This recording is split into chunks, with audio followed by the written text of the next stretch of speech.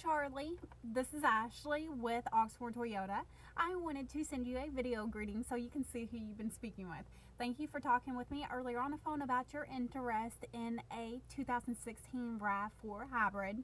I'll go ahead and touch base with you in November when they are coming out so that we can go over further details. If you need anything in the meantime, feel free to give me a call at 502-214-7085 or reply to this email. I look forward to working with you. Thanks. Bye.